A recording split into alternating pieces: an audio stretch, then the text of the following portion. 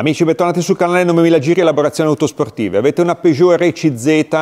e non avete i, tutta quella serie di problemi che abbiamo spesso elencato per cui siete un po' più tranquilli e volete fare un upgrade, ok, seguiteci sul video e ehm, vedrete quello che abbiamo fatto su questa vettura. Sigla!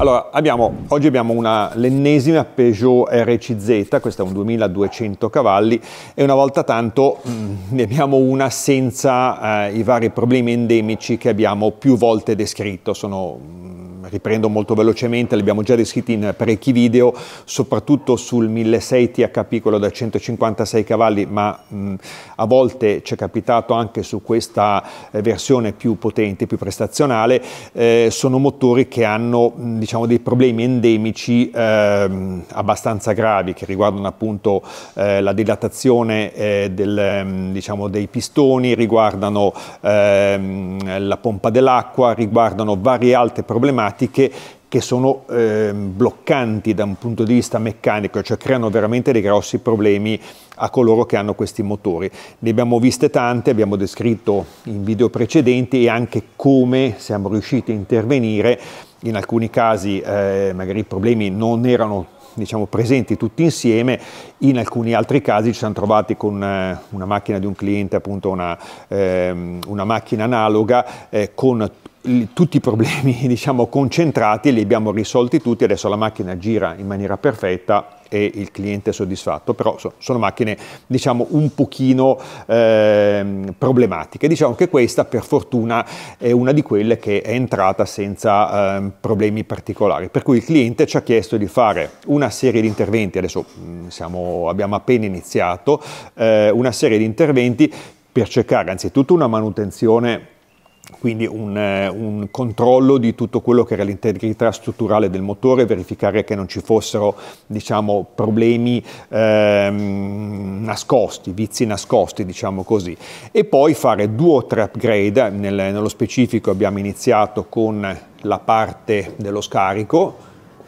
questo è il classico scarico Ragazon con la doppia uscita, in questo caso essendoci la placchettina sotto saldata significa che il terminale è un particolare omologato, quindi il cliente tiene l'omologazione ehm, nei documenti della macchina e eh, per qualunque richiesta, qualunque controllo questo tipo di modifica è eh, diciamo, accettata dal codice della strada. Da un punto di vista formale bisognerebbe poi riportare anche l'omologazione sul libretto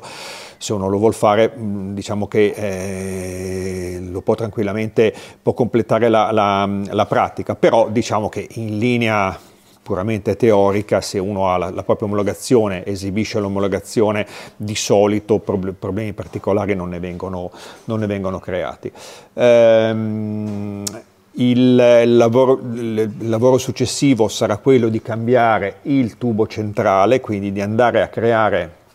togliere via un rompifiamma che c'è eh, diciamo a metà macchina per avere un sound un pochino più corposo. Diciamo che lo scarico l'abbiamo eh, concepito in questa maniera qua. Al di là dello scarico ci sta arrivando eh, l'intercooler, quindi abbiamo ordinato un intercooler maggiorato più o meno con un litraggio superiore del 20%, quindi non una cosa estremamente esagerata. Ricordiamo che mh, mm, analizzando il discorso dell'intercooler bisogna eh, verificare il litraggio eh, del, dell'intercooler esistente e compatibilmente con quello che è il lavoro che viene commissionato dal cliente, mh, mm, valutare se è il caso di maggiorarlo. Teniamo conto che una maggiorazione eccessiva eh, può essere vantaggiosa per un discorso di raffreddamento dell'aria che arriva al turbo, però dall'altra parte bisogna valutarla bene perché verrebbe decompresso, cioè si creerebbe una decompressione che sarebbe poi difficilmente recuperabile tramite mappa. Quindi bisogna sempre trovare, come in tutte le cose, la giusta calibrazione, quindi fare una maggiorazione, ma una maggiorazione che eh, sia, diciamo, eh, non estrema. In questo caso appunto daremo maggior eh, raffreddamento alla turbina e potremmo fare un lavoro di eh, revisione turbo perché questa macchina ha circa 90.000 km quindi faremo un lavoro di revisione turbo e contestualmente andremo a cambiare la girante mettendo una girante in avion. Quindi girante in avion più leggera, si diminuiscono le masse, non, eh, la, la, diciamo, la, la massa interna del, del, della turbina, in questo caso quello che si otterrà è avere un, diciamo, un'elasticità di marcia, un, un ingresso del turbo in pressione più rapido e più veloce, quindi la macchina anche volendo anche senza ritoccare la centralina, già provando una macchina con una turbina con giranti in avio c'è già una, una, differenza più che accettabile. Ovviamente in questo caso mettendo la turbina, cioè modificando la turbina e l'intercooler, gioco forza, bisogna fare anche la mappatura per andare ad adeguare in maniera perfetta tutti i parametri. Quindi parte motore l'abbiamo, l'abbiamo descritta. Eh, altro intervento che ci ha chiesto il cliente riguarda la parte dell'impianto frenante, quindi sono in arrivo dischi dello stesso diametro, però fatti con un materiale eh, più performante, quindi i soliti dischi dell'ABC eh,